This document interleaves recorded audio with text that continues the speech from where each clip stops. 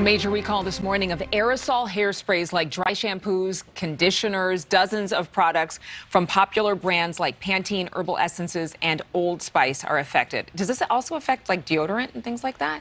We haven't heard deodorant, but this is always very concerning when we hear this. And just like you said, Procter & Gamble has, in fact, called the uh, chemical called benzene may be found in more than 30 of its aerosol dry shampoos and conditioner.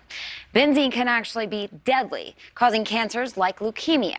But Procter & Gamble says its products most likely do not contain high enough levels of benzene to cause health problems. It's recalling the products anyway, out of an abundance of caution. Let's take a look look at these products and that are being recalled. Aerosol dry shampoos and conditioners from brands, again, like Herbal Essences, Pantene, and Old Spice. The products were were produced between January 19th and June 21st.